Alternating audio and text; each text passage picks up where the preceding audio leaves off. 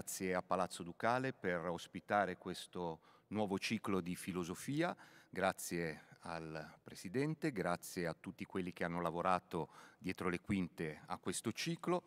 Il ciclo di quest'anno è Filosofia della moda, sarà un ciclo in quattro incontri, cominciamo oggi con Tommaso Ariemma che tra poco vi presenterò, ma prima alcune parole sul tema scelto di quest'anno, perché potrebbe apparire insolito. Insolito da un lato perché distante da temi degli anni precedenti, ma soprattutto insolito per il binomio filosofia-moda. Filosofia come pensiero delle cose alte, delle cose profonde, delle cose importanti, moda come spazio delle superfici, dell'apparenza, della futilità, cioè qualcosa che sembra totalmente in antitesi rispetto alla filosofia. Eh, questo è un pregiudizio che pesa sulla moda. Nel 2011, quando ormai da vent'anni eh, antropologia, sociologia, scienze sociali scrivevano di moda, esce in Italia il libro di Tim Edwards, La moda, per Einaudi, e l'autore si sente in obbligo di ricordare. Spesso la moda viene ridicolizzata e considerata una sciocchezza dai cosiddetti intellettuali e considerata, oltre che una sciocchezza, anche qualcosa di poco serio da coloro che sono politically correct. La moda è moralmente discutibile o addirittura narcisistica, secondo i conservatori e secondo gli uomini di religione, perversa e anormale da metà della popolazione, soprattutto maschile.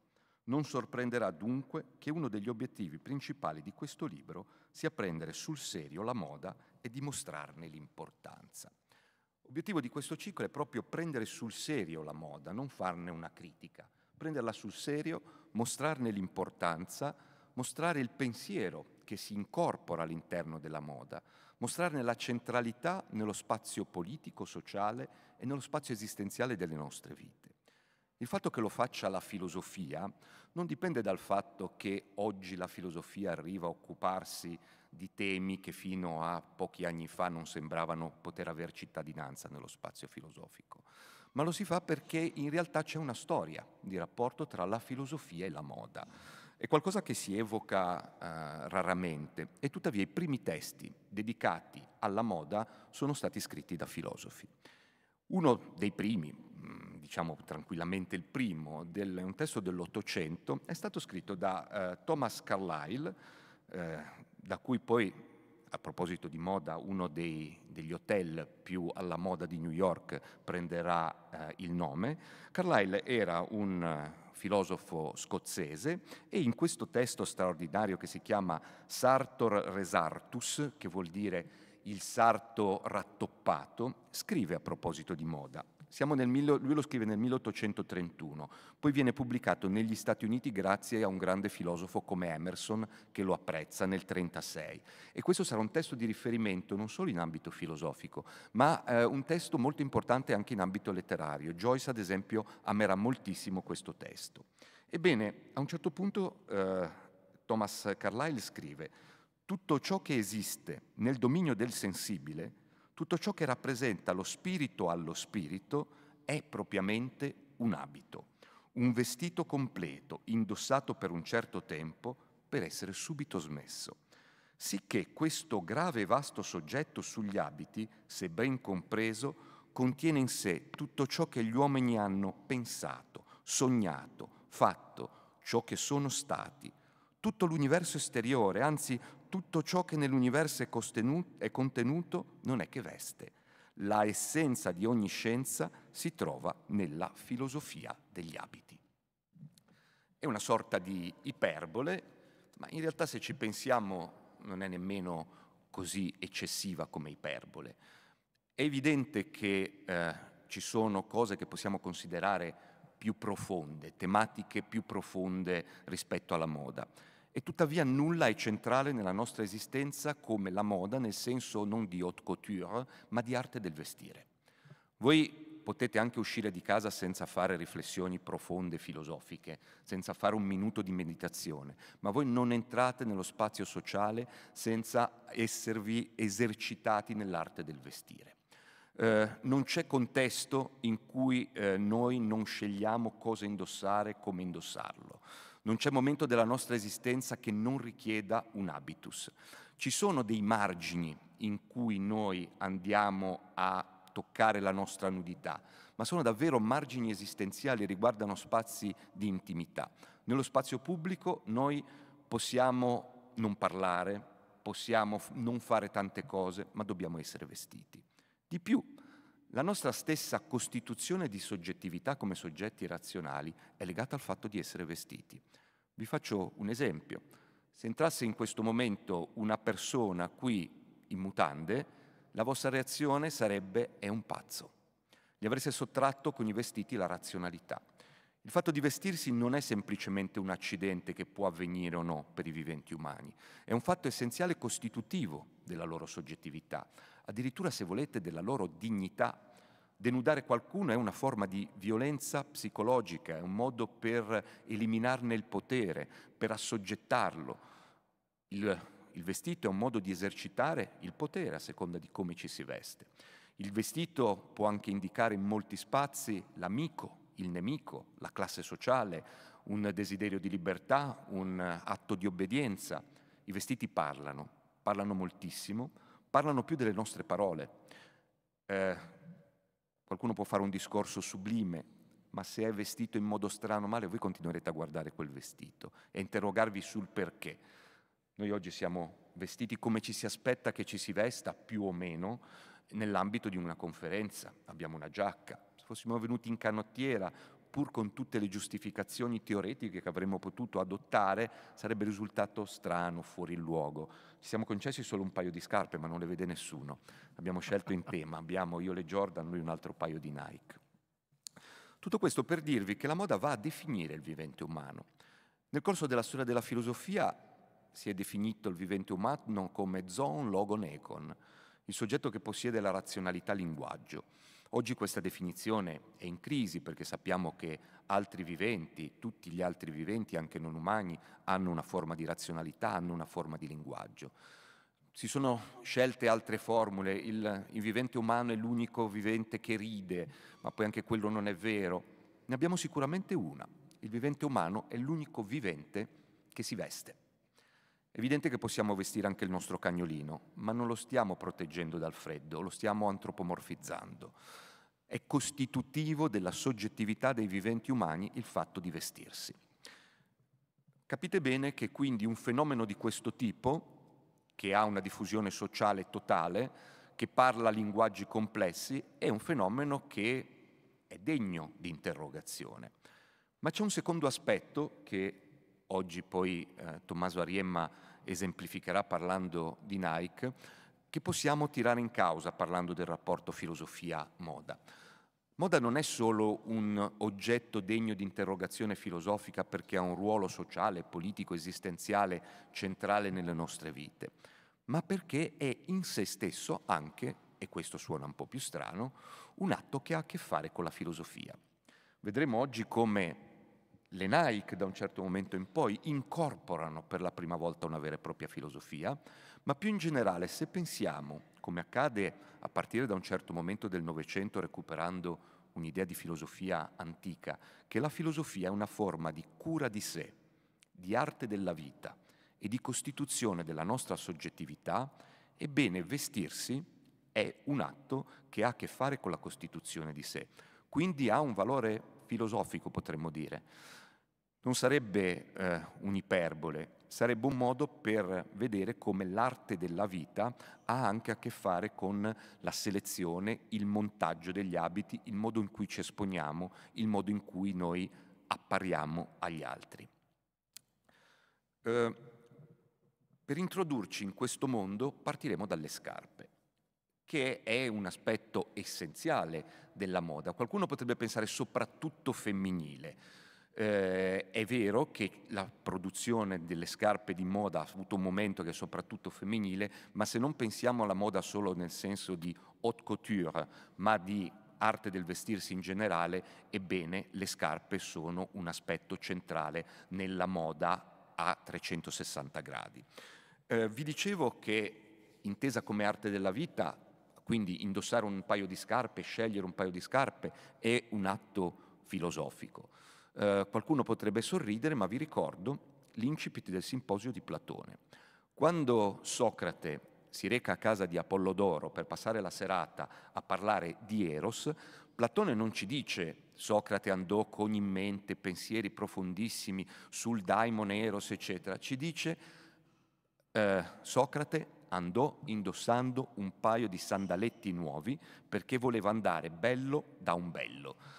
Eh, e in realtà voi trovate in molte pagine di Platone tutta una serie di discussioni sul, sulle scarpe, sui sandali, sul modo di indossarle. Quindi noi abbiamo dei pregiudizi che gli antichi non avevano, non solo che non c'è oggetto indegno di interrogazione filosofica, ma che ci sono oggetti che a noi sembrano da poco e che in realtà sono costitutivi e hanno un loro pensiero. Oggi interrogheremo un pensiero incorporato in una scarpa che voi trovate ovunque, diffusissima, anche qui in prima fila c'è una persona con le Air Jordan, sono le Nike. Ma non a caso partiamo dalle Nike, perché beh, fin dal nome evocano l'universo greco, l'universo del mito. Nike è una parola greca, eh, ce lo racconterà Tommaso, eh, la, il, il, simbolo delle Nike è preso dalla mitologia greca, le Air Jordan sembrano la scarpa per eccellenza del filosofo platonico che vuole elevarsi e saltare più in alto degli altri. Platone nelle leggi ricorda ci dimentichiamo troppo spesso di saltare, dobbiamo ricordarci di saltare e non lasciare troppi piedi per terra. Ebbene, oggi questo lo farà una persona che per me è, oltre ad essere uno dei filosofi più importanti che si occupano di cultura di massa in Italia, un carissimo amico, molti anni fa ormai, ahimè, eh, portammo in Italia la pop filosofia, cioè una filosofia che si è aperta alla cultura di massa, eh, abbiamo generato una piccola moda, no? diciamo così. Ebbene, quindi grazie al professor Ariemma che è qui, eh, Tommaso Ariemma insegna estetica e sociologia dell'arte presso l'Accademia delle Belle Arti di Lecce, si occupa di teoria dei media, si occupa di estetica, si occupa di cultura pop, si occupa di arte naturalmente, ha scritto più di una ventina di libri, ricordo solo diciamo, eh, gli ultimi tre, eh, uno che ha avuto un enorme successo per Mondadori, La filosofia spiegata con le serie tv, eh, l'altro pubblicato da Dinaudino, Platone Showrunner, e da ultimo Filosofia del gaming, da Talete alla PlayStation, edito da eh, Tlon. E sta preparando un libro che uscirà proprio eh, in autunno dedicato alla Nike. Non rubo altro tempo e lascio la parola a Tommaso. Grazie.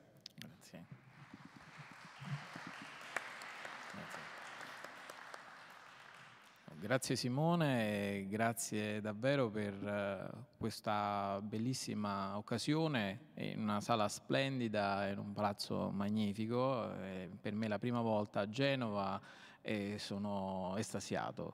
Uh, venendo dalla stazione fino all'hotel uh, ho ammirato per la prima volta una città che mi ha ricordato eh, non poco anche Napoli. Quindi mi trovo quasi, quasi a casa uh, per uh, questo motivo, ma anche l'ha anticipato uh, Simone perché eh, sono con chi ha portato la pop filosofia in Italia e oggi noi pratichiamo questo genere di filosofia in un modo molto diverso da quello che fu sponsorizzato soprattutto a livello statunitense, che sembrava una vacanza intelligente per i filosofi, per i professori di filosofia. Ecco, noi ci siamo occupati di queste cose però facendo quello che non si doveva fare, cioè prenderle sul serio si doveva scherzare con la cultura pop, si doveva alleggerire il discorso.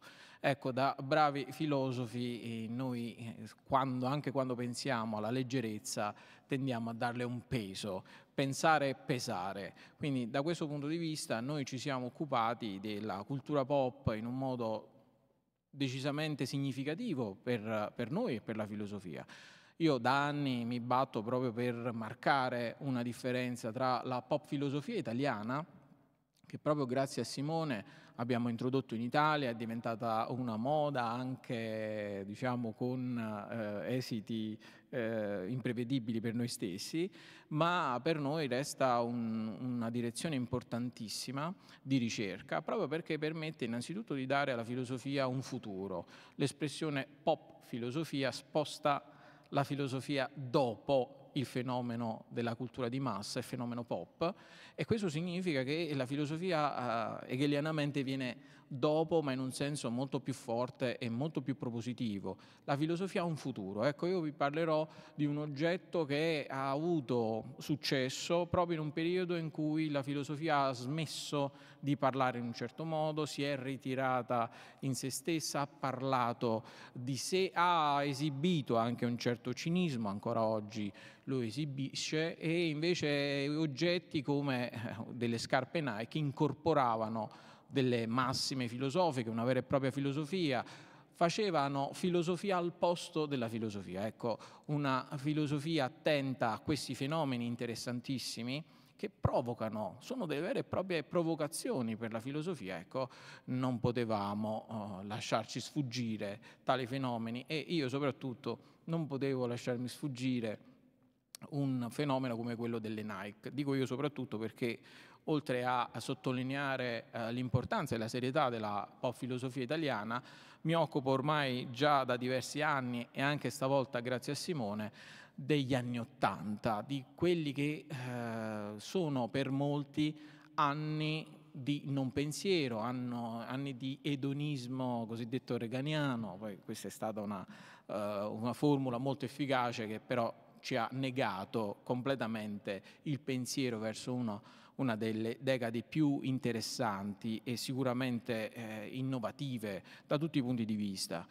Io mi occupo, dico, dicevo grazie a Simone, perché eh, proprio con il Melangolo abbiamo pubblicato Filosofia degli anni Ottanta nel 2019 e da allora io mi sono imposto di eh, attraversare gli anni Ottanta da tutti i punti di vista. L'ultimo libro che è stato pubblicato è dedicato ai videogiochi anche per questo motivo. I videogiochi hanno eh, il loro picco di successo soprattutto negli anni Ottanta e oggi sono diventate, eh, diventati una potenza narrativa, una potenza filosofica ovviamente, imprescindibile, e, però tutto comincia eh, dagli anni 80 o negli anni 80. Le Nike ovviamente non sono state prodotte negli anni 80, ma negli anni 80 sono diventate le Nike o le Nike, come dicono in America. Si è capito perché in Italia noi le pronunciamo Nike, cercando di eh, eh, eh essere così, di, di fare una pronuncia americana, però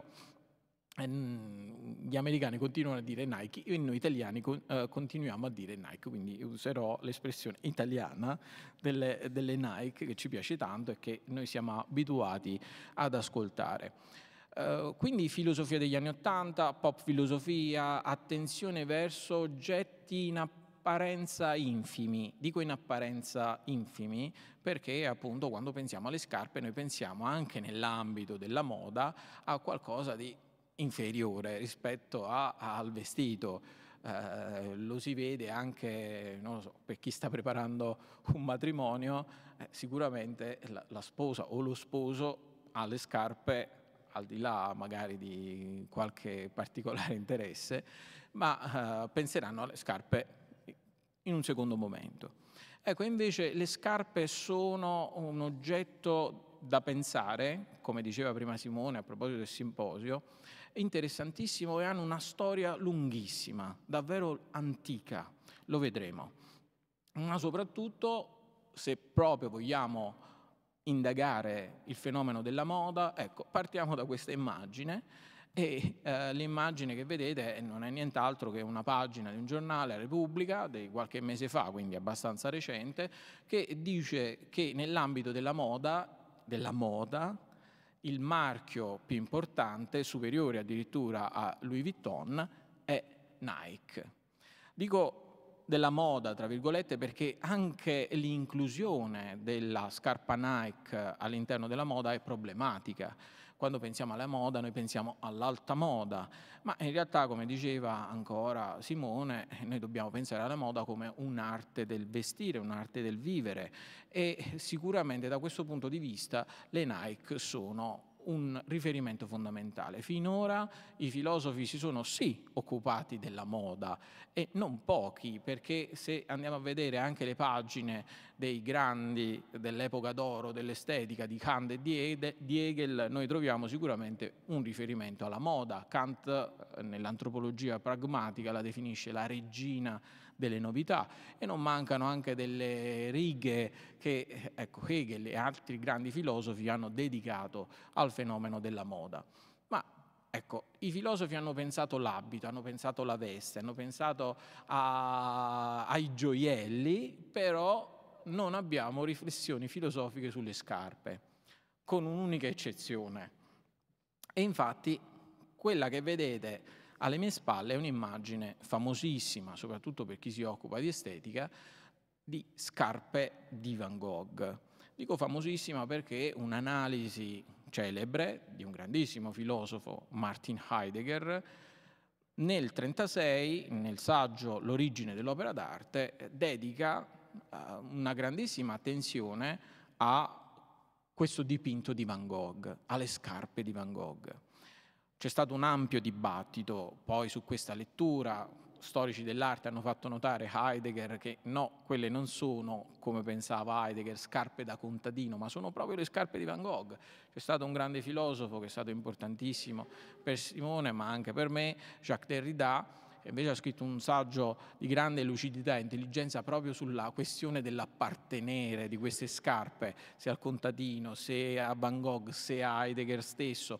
Insomma, intorno a queste scarpe, attenzione, solo a queste scarpe, noi abbiamo una discussione di livello elevatissimo in ambito filosofico. Tant'è vero che adesso c'è addirittura una raccolta di testi che si chiama le scarpe di Van Gogh, che raccoglie tutto il dibattito intorno a questo dipinto, a quest'opera. Quindi i filosofi si sono occupati di moda, pochissimo di scarpe, quelli che si sono occupati di scarpe si sono occupati di queste scarpe. Basta. Non avete riflessioni filosofiche sulle scarpe da parte dei filosofi se non su questo dipinto qua.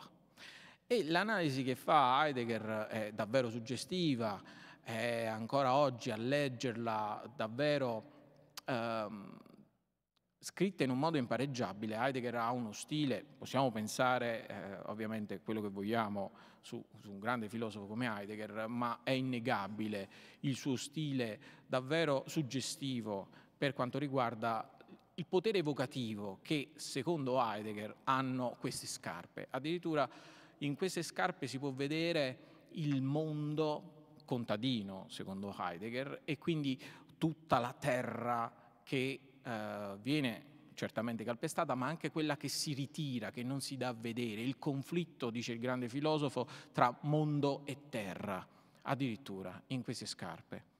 Ma in tutte le scarpe, quindi, eh, no, perché attenzione, io sono stato impreciso, la riflessione di questi filosofi non riguarda le scarpe. Noi pensavamo che stessero parlando di scarpe. No, no, ve l'ho detto, stavano parlando del dipinto di Van Gogh. Quindi ancora una volta non si sono occupate di vere e proprie scarpe, perché le scarpe sono nient'altro che un oggetto infimo, non degno di considerazione, nemmeno nell'ambito della moda. Pensate che eh, l'unico cambiamento nel mondo della moda, per quanto riguarda le scarpe, è stata la differenziazione dalla scarpa destra e alla scarpa sinistra, o scarpe maschili e scarpe femminili. Poi c'è stata un'esplosione, una differenziazione, eccetera, ma per tantissimi secoli addirittura le scarpe erano le scarpe, i sandali erano i sandali. C'era un minimo di differenziazione di, di genere, ma più di più di, mh, da lì non, non ne uscivamo. Questo che cosa significa? Significa che, ecco, non abbiamo mai pensato alle scarpe perché le scarpe, anche colpa loro purtroppo, non avevano incorporato qualcosa degno di attenzione. Ecco, si, sicuramente la riflessione che fa Heidegger a proposito di queste scarpe riguarda l'essere trasposte in immagine. Heidegger dice noi possiamo pensare le scarpe di Van Gogh, questo dipinto, perché è un'immagine, perché è una messa in opera della verità, perché così noi vediamo la verità, lui dice, del mezzo. Non possiamo usare le scarpe, non possiamo utilizzare queste scarpe e quindi per la prima volta noi vediamo queste scarpe sospese, vediamo la verità del loro uso, l'utensilità in generale. Ecco, questo ci permette di pensare che cos'è un mezzo per Heidegger. Di lì poi una riflessione molto densa su tutto quello che è il destino dell'Occidente, a partire però, attenzione, da un'opera d'arte, non dalle scarpe. Heidegger non si sofferma tanto su delle scarpe, si sofferma anche su dei semplici oggetti, per esempio si sofferma su una brocca, questo sì, o un bicchiere. L'analisi famosa di Heidegger sulla brocca, però sulle scarpe no. Ecco, possiamo invece rivolgere la nostra attenzione a delle scarpe in particolare, a delle scarpe che tra l'altro ci aiutano in questo, nel senso di essere più appetibili per i filosofi, perché in realtà queste scarpe sono anche la loro immagine. La caratteristica degli oggetti pop è che è difficile separarli dalla loro immagine. Anzi, a volte dobbiamo fare uno sforzo incredibile per non perdere il senso della realtà nel differenziare la cosa, tra virgolette, reale dalla sua immagine. Il caso degli hamburger dei McDonald's penso sia noto a tutti. Però la caratteristica degli oggetti pop è proprio questa, quella di essere quasi inseparabile sua dalla propria immagine. Ecco, andiamo dunque al nostro oggetto per eccellenza. Vedremo non è un semplice oggetto, quello che vedete nell'immagine, quindi ecco, gli oggetti pop e le Nike in particolare, che hanno un, un archivio di immagini eh, enorme, Ecco, gli oggetti pop come quelli delle Nike ci permettono di fare una eh, riflessione filosofica di livello, spero di mostrarlo, altissimo. Perché? Innanzitutto quella che vedete non è uno dei modelli più famosi delle scarpe Nike, eh, l'Air Jordan, lo è ma anche no. Questa è una scarpa eh, abbastanza recente, di, mh, mm, se consideriamo la sua produzione il suo costo è elevatissimo, costa 800 dollari. Già ci fa strano pensare a una scarpa come quelle del Nike che hanno un prezzo di solito medio-alto, ma sicuramente non arrivano a 800 dollari, 800 euro, comunque una cifra enorme. Questo è un pezzo da collezione. Perché? Perché è fatto con uh, materiali particolari, speciali, anche un colore che differenzia queste scarpe, queste Air Jordan, questo è il loro modello, da quello originale. Oggi c'è una vera e propria cultura delle sneaker, addirittura ci sono delle persone ossessionate dal loro acquisto, dall'acquisto anche eh, legato a un certo tipo di collezionismo, i cosiddetti sneakerhead. Addirittura c'è una serie televisiva su uh, Netflix comica, ovviamente perché eh, possiamo pensare anche a una compulsione dietro questo tipo di acquisto, ma è una forma di collezionismo molto interessante che riguarda le sneaker e uh, il loro eh, più o meno valore a seconda del, dell'anno di produzione, del modello, della differenziazione, poi lo vedremo anche della, uh, dell'aggiunta di un grande stilista del momento. Ecco, queste hanno un valore sicuramente eh, decisamente alto rispetto alla media e ricordano, il modello è lo stesso, ma lo ricordano eh, a malapena perché appunto il eh, colore è completamente diverso, infatti hanno un, un nome che ha a che fare col dark delle Air Jordan. Io ho scelto queste immagini innanzitutto per farvi vedere una cosa. Eh, avete i simbolo famosissimo, lo swoosh del, della scarpa Jordan, della Nike, però avete lì in alto quello che poi diventerà il sottomarchio delle scarpe Nike, un sottomarchio per la prima volta dedicato a una sola persona, a un singolo uomo, il più grande cestista di tutti i tempi, Michael Jordan. La cosa interessantissima perché eh, come vedete c'è qualcosa che lega i due simboli.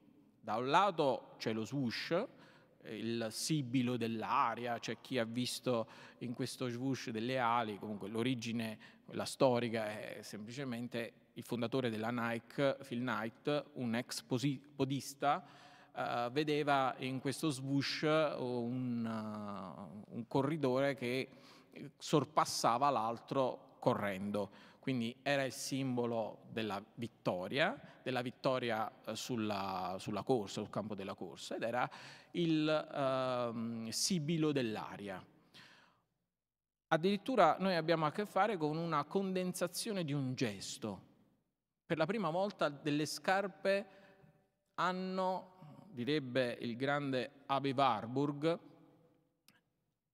una pathos formen, una formula di pathos, un gesto corporeo. È una cosa importantissima perché fino a quel momento solo le opere d'arte avevano utilizzato lo schema corporeo. Schema è una parola che appunto ha a che fare con il gesto corporeo. Schemata in greco sono i gesti del corpo. Il danzatore utilizza schemata.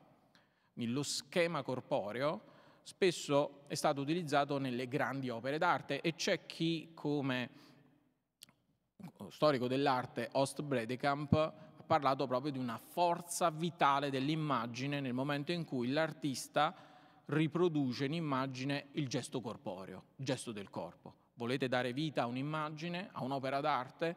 Benissimo, allora la vostra opera deve avere a che fare col gesto del corpo. Questo dà vita all'immagine e dà vita a una scarpa. Quindi, prima incorporazione, una scarpa comincia a utilizzare una strategia iconica, tipica delle opere d'arte. Ma lo vedete ancora di più nel sottomarchio di Jordan. Prima si parlava dell'elevazione, ma qui avete proprio il gesto famosissimo con le gambe divaricate di Jordan che sembrava volare, l'uomo lontano dalla forza di gravità, l'unico uomo che non saltava ma volava, Air Jordan, veniva chiamato Air proprio a simboleggiare, a sottolineare la sua vicinanza all'aria. Eccolo qui, il nostro Michael Jordan, giovanissimo, quando nel 1985 viene anche in modo rocambolesco e potete eh, riprendere questa avventura della Nike semplicemente guardando il bellissimo film dell'anno scorso, Air, eh, diretto da Ben Affleck.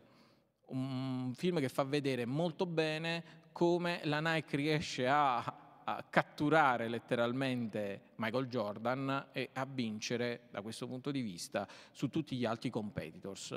Però tuttavia Ecco, nel mio intervento io vorrei sottolineare anche il lato di mito di questa uh, strategia, perché poi i numeri alla mano le cose non vanno come sperava il fondatore eh, Phil Knight.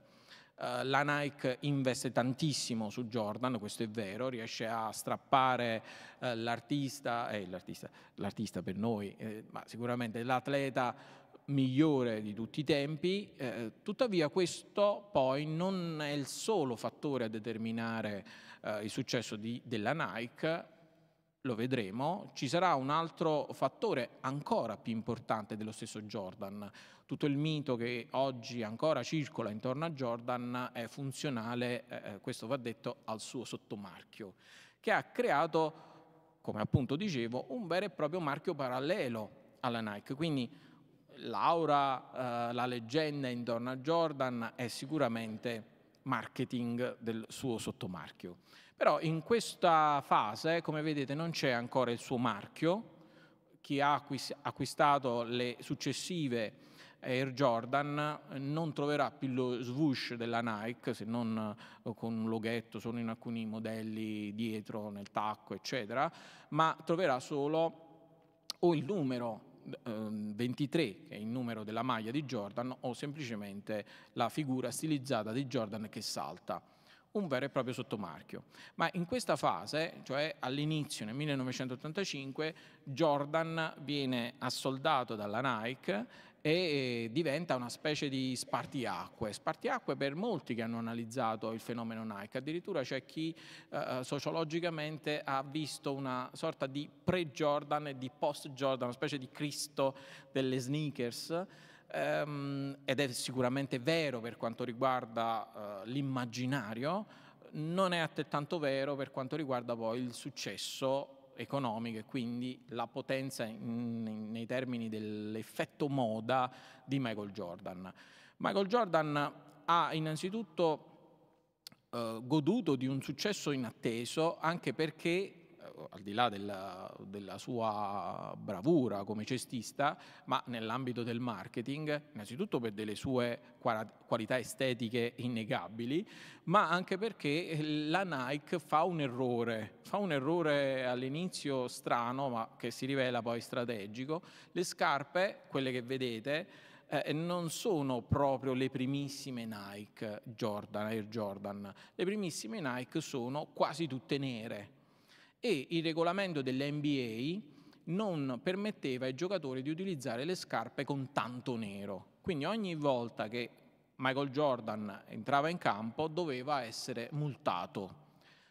È una follia sicuramente sostenere una cosa del genere, ma uh, la Nike vuole sostenere questa multa, vuole pagare ogni volta questa multa perché pensa poi di rivendere questa uh, multa, questa, questa, infrazione come una caratteristica dei, delle scarpe, comincia a, a, far veicolare, a far girare il mito della potenza delle scarpe.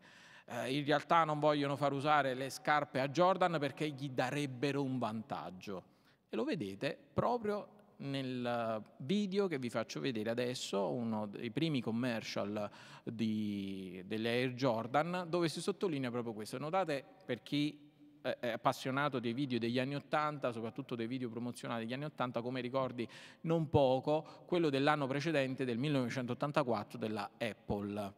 La, la stessa dicitura, la stessa impostazione, c'è qualcuno che vuole impedirvi di essere libero, eccetera, eccetera ma eh, in realtà sì, questo sarà un limite per Jordan, ma non è un limite per voi consumatori che potete acquisti, acquistare le eh, Nike Air Jordan e nessuno vi può impedire di, utilizz- di indossarle.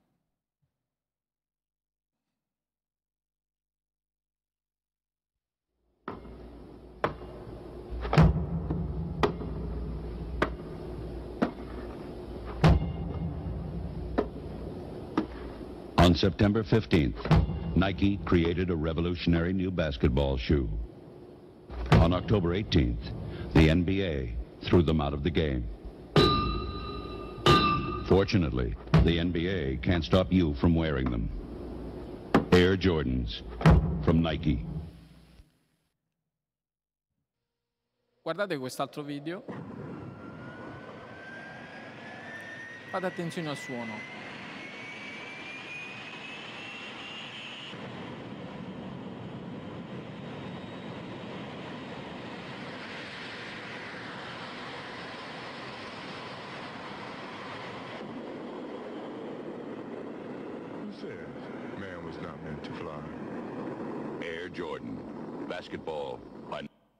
Questi sono i primi commercial di, ehm, dell'Air Jordan e avete notato innanzitutto sicuramente il suono eh, ha a che fare, somiglia molto, è il suono in realtà di un jet, di un aereo.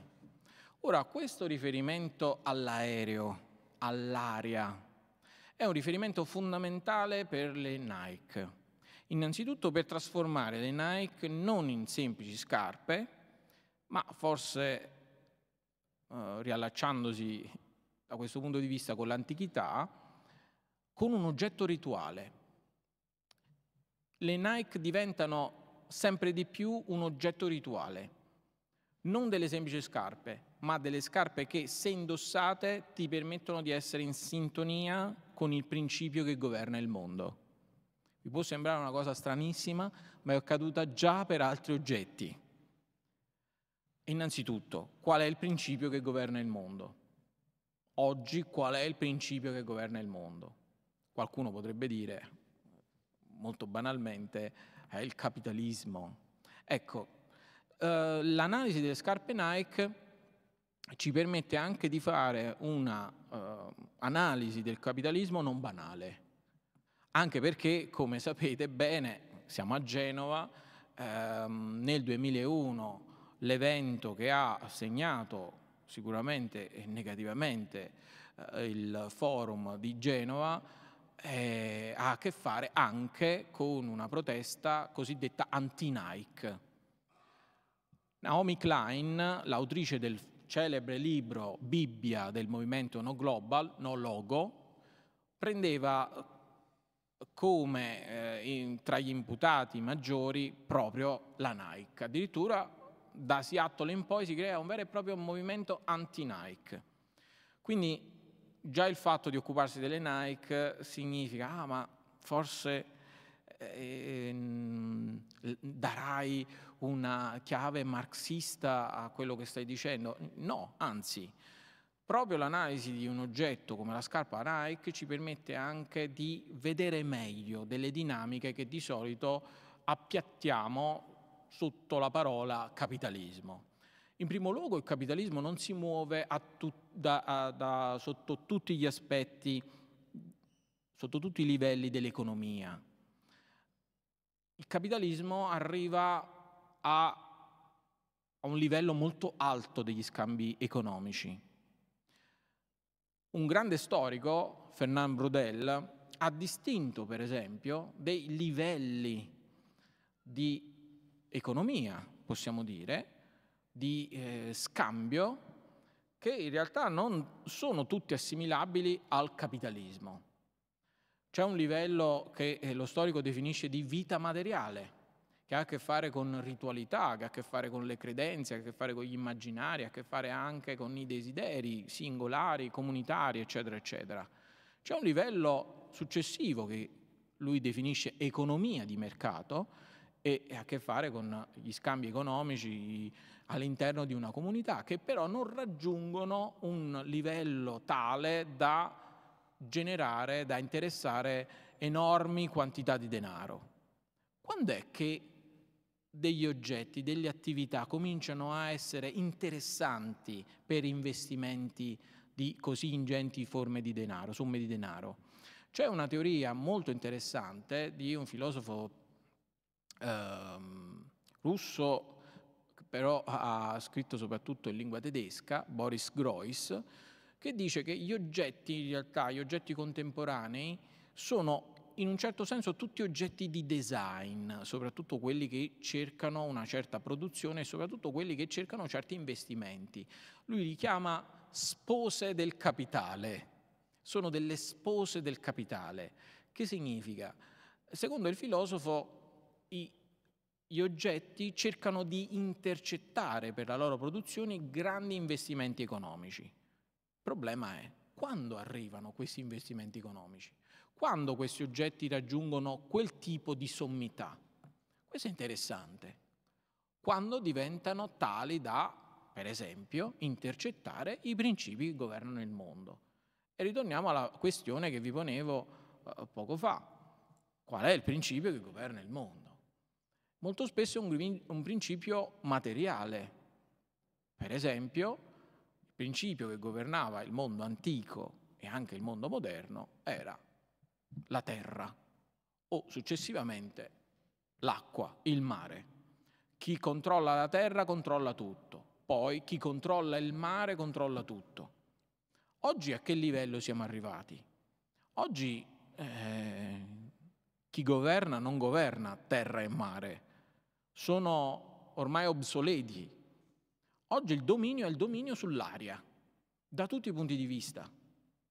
Non solo aereo nel senso materiale, ma per tutto quello che attraversa il flusso aereo, quindi informazioni, quindi tutto quello che avviene attraverso i nostri eh, celebri computer, avviene attraverso l'aria, per mezzo dell'aria.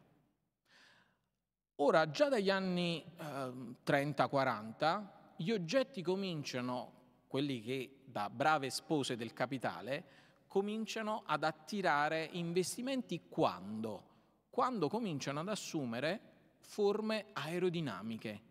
Ci sembra assurdo, quello che vedete eh, nella copertina del Time è Raymond Loewy, uno dei più grandi designer americani, l'inventore dell'industrial design, il design industriale. Qui apriremo una finestra molto grande e quindi non la apro nemmeno. Che cosa crea Lemon Lowy? Crea linee aerodinamiche per tantissimi oggetti, dalle locomotive alle automobili ovviamente, ovviamente nelle automobili, per quanto riguarda le automobili, noi possiamo pensare, vabbè, giustificato, vogliamo dare una velocità all'automobile, quindi le forme devono essere aerodinamiche. Ma il temperamatite? Che senso ha? Avere un temperamatite dalle forme aerodinamiche. Ma non solo il temperamatite, il frigorifero, il celebre frigorifero cold spot, con delle forme bombate aerodinamiche perché ovviamente gli oggetti diventano quasi eh, dei veri e propri oggetti rituali nel momento in cui incarnano il principio che governa il mondo. Il principio che governa il mondo è l'aria. Tutti gli oggetti cominciano ad avere forme aerodinamiche, forme che si possono prestare dal punto di vista simbolico a sostenere questo principio. Ed è una cosa stranissima, per esempio, che delle scarpe cominciano ad avere nella suola una camera d'aria. È una cosa stranissima, perché qualcuno potrebbe dire, vabbè, ma reggono meglio gli urti, ammortizzano bene. Eh, ma che ci devi fare con le scarpe? E poi soprattutto, adesso per esempio lo potete vedere, ci sono delle gomme che eh, funzionano anche molto meglio senza avere all'interno delle camere d'aria una camera d'aria molto particolare. Nasce questa idea nel 77. Frank Rudy, un ingegnere aerospaziale, si presenta dal fondatore della Nike e gli dice: ah, ma perché non mettiamo una camera d'aria pressurizzata nella scarpa? E giustamente Phil Knight dice: ma perché? Che serve?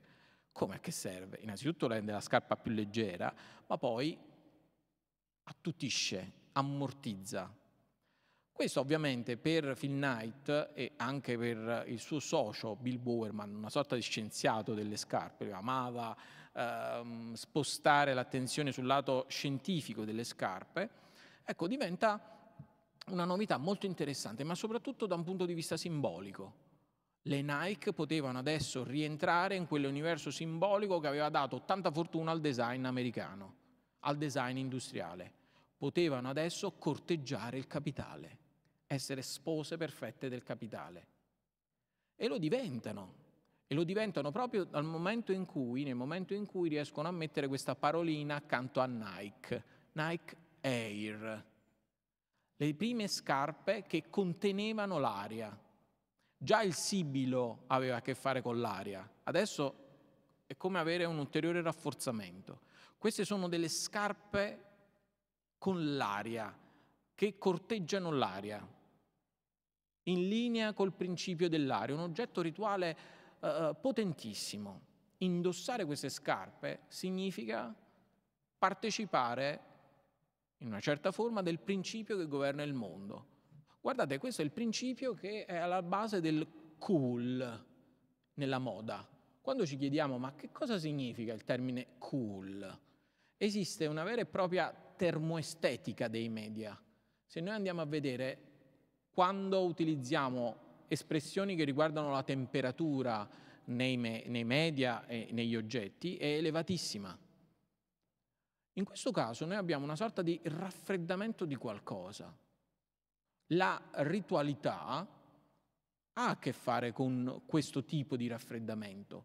C'è un grande principio che governa il mondo, mi è estraneo, io sono messo da parte ma con questo oggetto io posso partecipare di questo principio e quindi uh, questo potere eh, passa anche un po' attraverso di me.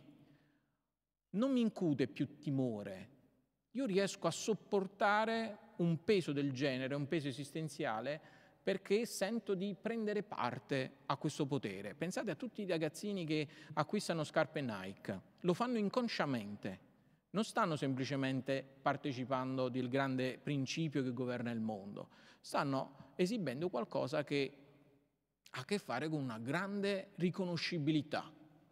Pensate a quanti ragazzini negli anni Ottanta hanno acquistato le Nike per essere riconoscibili, per essere identificabili, per avere un po' di quel potere di riconoscimento che attraverso un oggetto rituale come quello delle Nike adesso poteva essere ottenuto. La vicenda che dà il nome alla scarpa Nike è davvero rocambolesca. Il già citato fondatore, Phil Knight, fa un'operazione davvero singolare e la storia delle Nike ci fa vedere come questo semplice oggetto, delle semplici scarpe, in realtà ah, è frutto di una serie di passaggi ah, avvincentissimi e che ci permettono di parlare di una vera e propria costruzione impersonale. Vi dicevo, Phil Knight, il fondatore, è un ex podista, ma anche una laurea in economia. Vuole diventare, come molti americani, un imprenditore. E allora che fa? Un'intuizione geniale. Lui pensa di poter importare in America delle scarpe sportive giapponesi sono fatte meglio, sono molto più leggere, ma soprattutto sono molto più economiche. Quindi Phil Knight e il suo allenatore Bill Bowerman, eh, che diventa poi suo socio, fondano non la Nike, ma un'altra società, la Blue Ribbon Sport, simbolo anche lì di una vittoria. Blue Ribbon è la coccarda per il vincitore. E diventano quelli che cominciano a importare scarpe giapponesi. La Onizuka Tiger è la casa madre giapponese che vede in questa intuizione del giovane Finn Knight sicuramente qualcosa di produttivo per la uh, casa giapponese. Quindi accetta, però accetta fino a un certo punto. Dopo un po' i rapporti si logorano e Phil Knight deve fare una scelta, se abbandonare il mercato delle scarpe o mettersi in proprio. Ed è qui la cosa interessante. Phil Knight, ragazzo, davvero ventenne, fa un viaggio in tutto il mondo. Comincia a, a girare il mondo prima di arrivare in Giappone e prima di poi prendere distanze dalla casa produttrice giapponese. In una di queste tappe si ferma ad Atene, è il 1962 una cosa stranissima. Sapete chi c'è ad Atene nel 1962? Heidegger, che fa per la sua prima volta il viaggio in, ad Atene. Non aveva mai visto la Grecia, va con alcuni amici, con sua moglie, va a visitare la Grecia. Non sappiamo se proprio negli stessi giorni, nello stesso mese, ma sicuramente i due si ritrovano nello stesso anno a fare la stessa riflessione, anche questo è interessante, di solito il filosofo pensa che eh, persone che ecco, non hanno studiato filosofia, eccetera, siano distanti da una certa sensibilità, per esempio, verso il mondo greco. Heidegger visita il Partenone, fa un uh, famosissimo viaggio in Grecia, vi eh, suggerisco questo libro bellissimo, si chiama Soggiorni, viaggio in Grecia, e dice che ormai il mondo greco è andato, fa parte del passato nonostante abbia generato il nostro presente, eh, sia ormai svanito. Non riusciamo quasi più a pensarlo, dice Heidegger, si sottrae. Andare in Grecia è stato un errore. Addirittura a Rodi, in Isola Bellissima, Heidegger non vuole scendere dalla nave. Io non voglio sapere più niente. Ormai è tutto, stiamo parlando del 1962, eh, è tutto ormai nelle mani del turismo. Nessuno avverte più lo spirito greco, tutto è svanito, tanto, tanto meglio eh, restare in Germania a casa senza fare il viaggio e pensare attraverso Parmenide, Euraclito, eccetera. Nello stesso momento c'è un giovanissimo Phil Knight che sta andando a parlare uh, in Giappone per prendere accordi, poi successivamente per prendere distanze e nota una cosa. Si ferma e resta colpito da questo. Cosa stranissima. Lui dice, noi dobbiamo ai greci tutto, noi, noi americani, noi dobbiamo ai greci tutto. I greci sono l'inizio di tutto. Phil Knight sarà l'ultimo a fare questo tipo di riflessione. L'ultimo richiamo al mondo greco è in una scarpa. Non ce ne saranno più. La filosofia ormai negli anni Ottanta ha preso ampiamente distanze da questo modo di fare filosofia.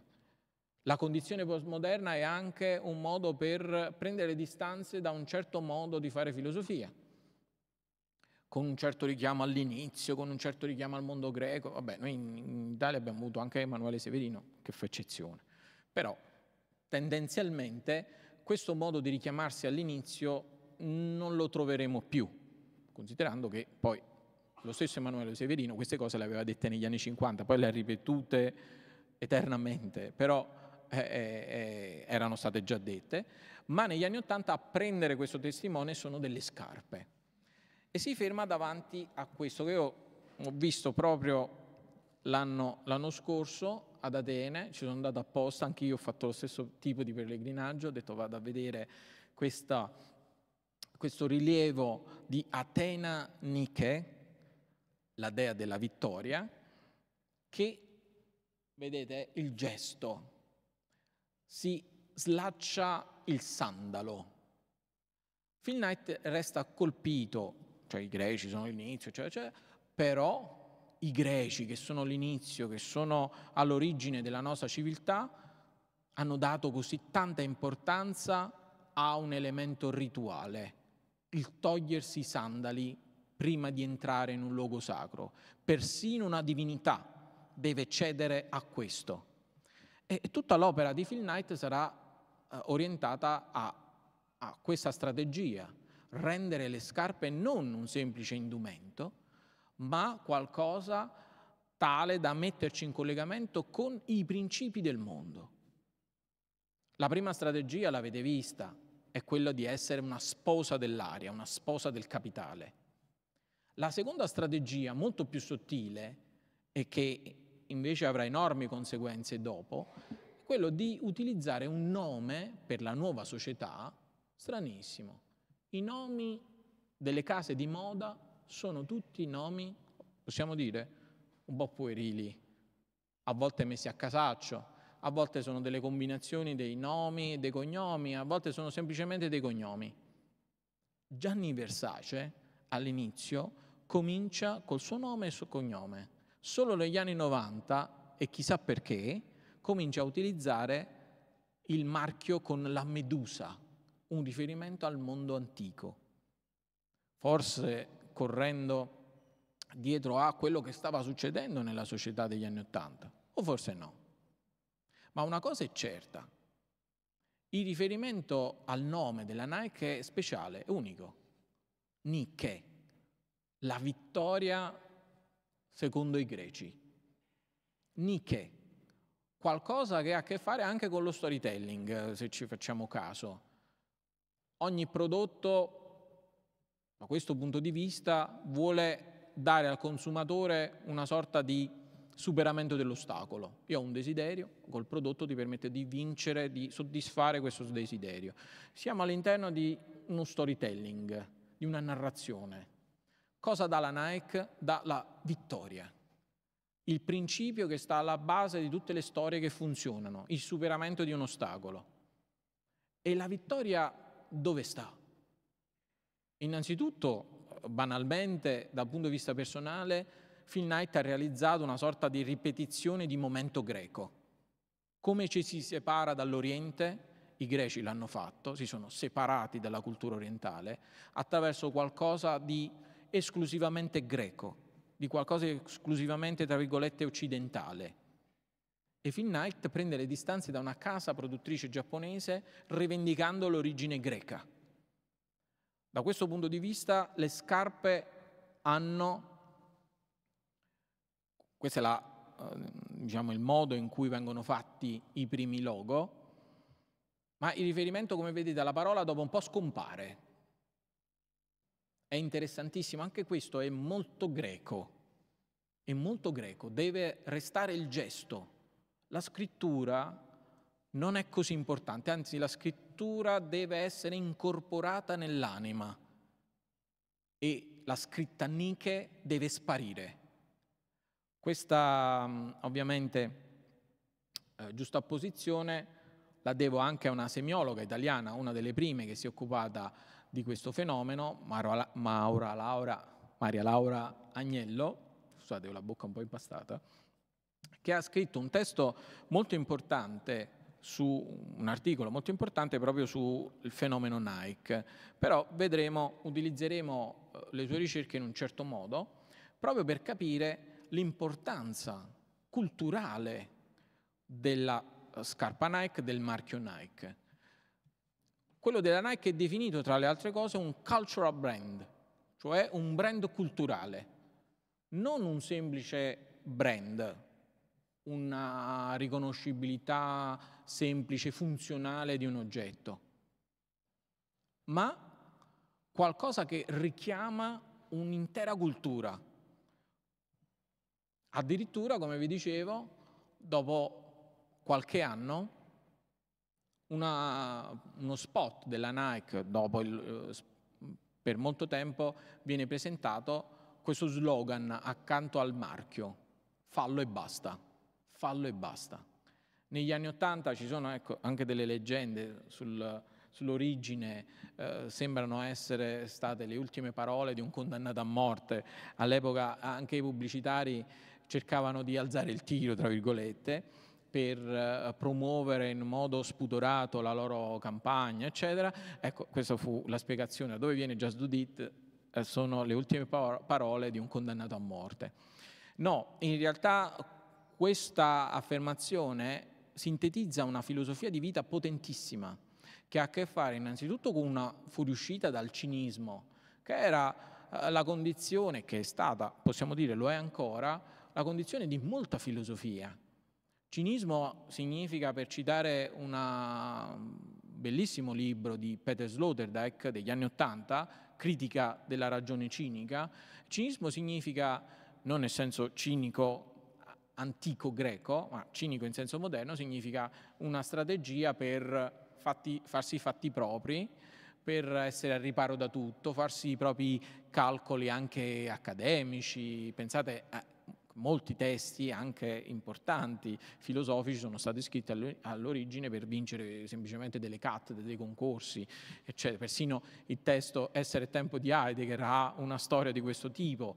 Ecco, questo cinismo che ha attraversa tutta la filosofia contemporanea, da questo punto di vista viene messo a, molto a distanza, perché un, una scarpa ti dice di vivere sostanzialmente, di affrontare la vita, non nel senso che poi si dirà contro eh, l'ideologia, tra virgolette, della Nike, dell'essere vincenti ad ogni costo, assolutamente no Perciò io prendo anche distanza da alcuni semiologi, l'Agnello già citata, che vedono nella, negli spot della Nike il mito del vincente americano, tra virgolette. Assolutamente no. Anzi, se c'è un valore anche etico del, dello slogan delle Nike, è proprio questo. Uh, c'è già la vittoria. Basta avere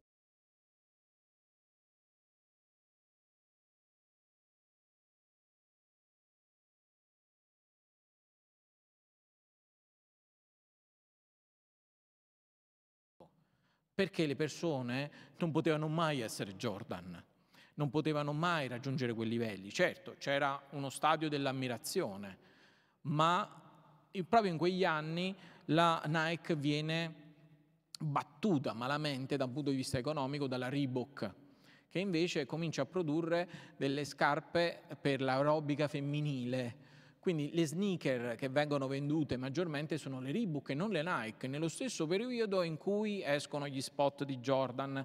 Eh, Jordan ha una fama dal punto di vista sportivo immensa, ma la Nike nel 1986 è in bancarotta. Addirittura Phil Knight dice bisogna rivedere alcune cose, soprattutto alcuni investimenti, bisogna cercare la strada della pubblicità Cosa stranissima, quando pensiamo alla Nike noi pensiamo alla pubblicità. Uh, le campagne anti-Nike dicono spesso a Nike è solo pubblicità, il resto del lavoro lo fanno i bambini piccoli in Indonesia, eccetera. In parte è vero, per carità, e magari su questo possiamo aprire anche un dibattito perché capite che è un tema abbastanza uh, divisivo, Però la cosa interessante è questa, all'inizio Phil Knight non crede assolutamente nella pubblicità, è testardo, sostiene che lui ha creato delle scarpe per degli sportivi, non vuole assolutamente che le sue scarpe vengano diffuse come scarpe per tutti i giorni. Quando lui vede gli spot, eh, i video dei, dei, dei, degli hip hop, degli artisti, degli cantanti hip hop, dei rapper con le Adidas soprattutto o con altre scarpe slacciate eh, utilizzate come moda, semplice moda, eh, lui non ridisce noi non stiamo creando, dice Phil Knight, un capo di moda. Queste sono scarpe per chi corre, soprattutto all'inizio la Nike è, mm, copre quel settore atletico, ma noi facciamo delle scarpe che hanno innanzitutto un valore tecnologico,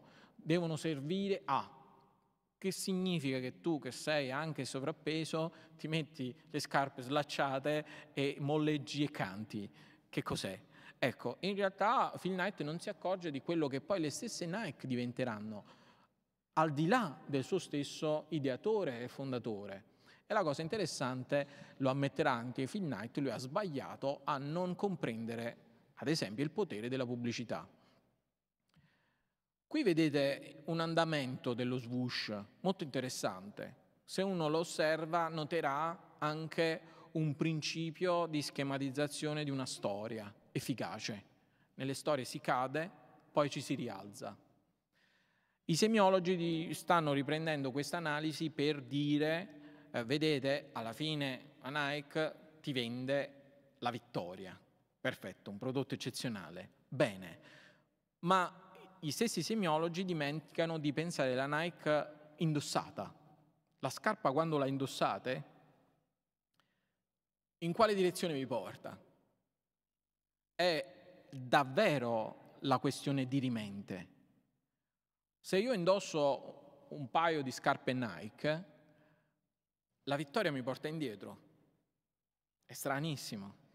Se questo appunto diventa una uh, chiave per la storia, a un certo punto dovrebbe spingerci in avanti e non all'indietro, come invece accade in, uh, indossando le scarpe della Nike. Perché? Perché la forza della Nike, come abbiamo visto, non è verso il futuro, ma verso il passato. Oggi chi indossa delle scarpe Nike lo fa per anche una nostalgia. Simone ha le Jordan, io ho le Air Max, ma eh, sì, ci richiamiamo a un tempo che è ormai passato Ora, questo appropriarsi del passato è davvero una rivoluzione che la moda sta intercettando. Perché? Perché viviamo in un'epoca particolare dove a dettare la linea della novità è la tecnologia, non più la moda. Ricordate, all'inizio della, della mia conferenza ho sottolineato che anche Kant ha individuato nella moda la regina delle novità. E questo ruolo della moda ormai è caduto, non c'è più.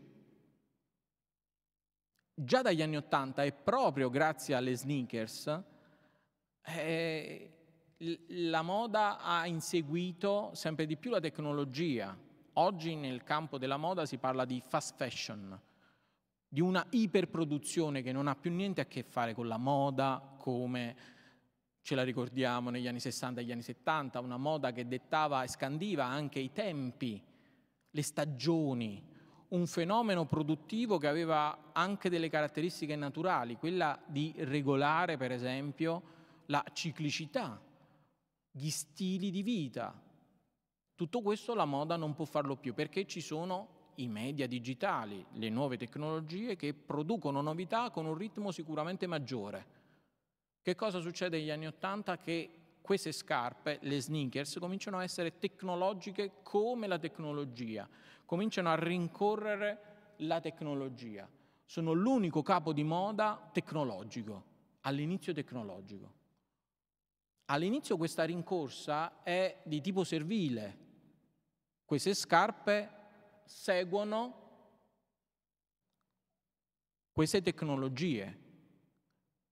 Tuttavia, col tempo, oggi, grazie alla moda e grazie soprattutto alle sneakers, abbiamo una possibilità che le tecnologie non sono più capaci di coprire, quello di, quella di farci riappropriare del passato. Certo, qualcuno dice, vabbè, ma noi con le nuove tecnologie possiamo anzi recuperare molti momenti del passato, ma non è più passato se ci fate caso. Sono tanti momenti che noi abbiamo fotografato, sono tanti istanti che difficilmente noi andiamo a rivedere, addirittura sono i social network a ricordarcelo. Uh, si festeggia questa ricorrenza, uh, l'anno scorso hai fatto questo, perché noi non abbiamo nemmeno più il tempo orientati dai nuovi media nella rincorsa sempre della, dell'ultima novità a mettere uh, un po' la testa sul nostro passato. Cosa ci permette invece di operare in questa direzione? È proprio la moda. Oggi la moda può giocare una partita della sostenibilità a 360 gradi, non solo nel senso ecologico, ma anche in un senso storico e anche esistenziale. I media tra loro si sfidano, sono in competizione. Questo che significa? Significa che a un certo punto questi stessi media devono farsi la guerra, devono sfidarsi. E oggi la moda come può vincere? Può vincere proprio attraverso scarpe come quelle delle Nike che permettono di riprendersi il passato, anche con effetti nostalgici, ma sicuramente con una coscienza superiore rispetto alla direzione dei nuovi media. Adesso, e sto per chiudere, vi faccio vedere in realtà quello che ha determinato la vera svolta delle Nike. Non è stato Michael Jordan, è stata una pubblicità una pubblicità che probabilmente eh, abbiamo dimenticato, ma adesso ve la, ve la farò vedere, è una pubblicità che compare nel 1987, quindi dopo il crack della Nike dell'86, quindi con Jordan le Nike guadagnano tantissimi punti a livello di immaginario, ma pochissimi in termini di successo economico. Nell'87 Phil Knight cede alla pubblicità e c'è un'agenzia pubblicitaria innovativa che utilizza per la prima volta una canzone dei Beatles per un prodotto commerciale, una cosa che non doveva assolutamente essere fatta. Anche questo. Le Nike hanno avuto un potere dissacrante, utilissimo. Ha separato una scarpa dalla sfera del sacro qualcosa che era stato confinato nella sfera del sacro, i Beatles. Ma come?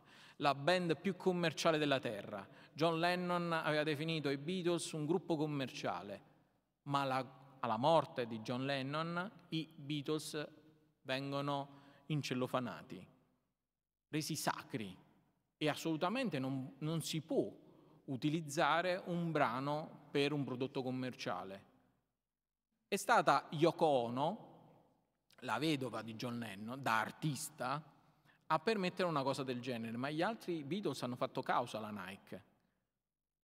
La Nike vince perché ha l'autorizzazione di, di Yoko Ono, poi c'è tutta una battaglia legale interessantissima, ma che vi fa capire anche la direzione che ha preso questo marchio, quello di diventare un marchio per tutti, quindi non più per gli sportivi, non più per persone alla Michael Jordan, non più per semplici divinità, tra virgolette, ma per tutti. E non c'è nessuna competizione da vincere olimpionica, semplicemente bisogna vivere e basta, farlo e basta, come in questo spot che ha cambiato totalmente il piano economico della Nike.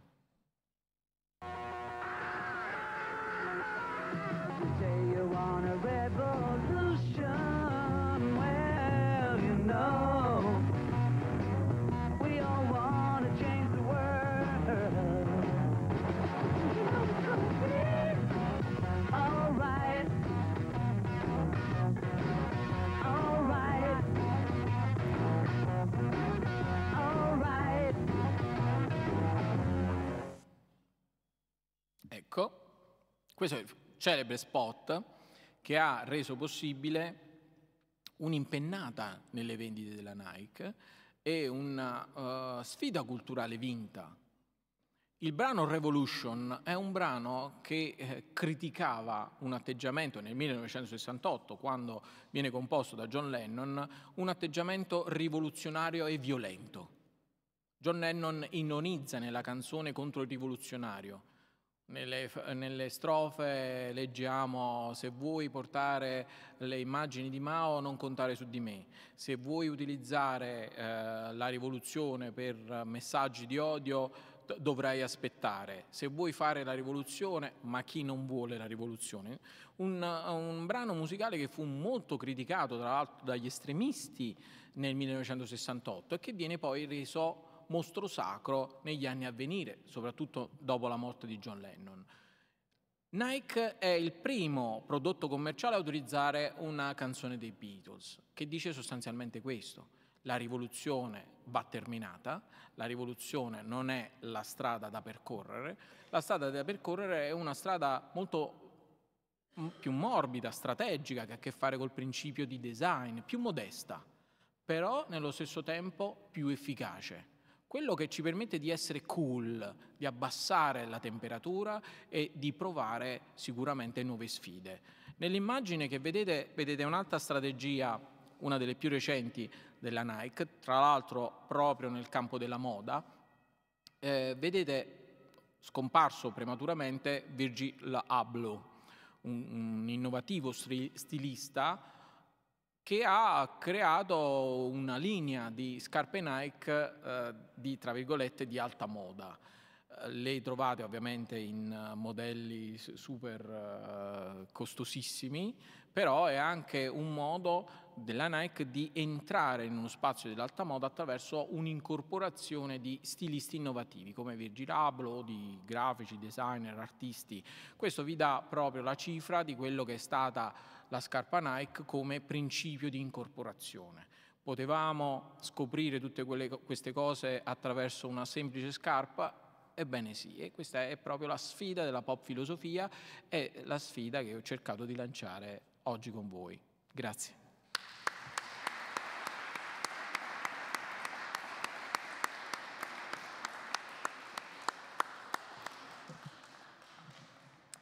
Grazie, grazie davvero. Grazie a Tommaso per questa bellissima conferenza, ci ha aiutato a pensare con i piedi oggi, che è operazione eh, direi eh, difficile ma eh, fondamentale. Um, ringrazio tutte voi e tutti voi che avete ascoltato. Eh, vi ricordo il prossimo appuntamento con la professoressa Francesca Romana Recchia Luciani martedì prossimo. Buona serata.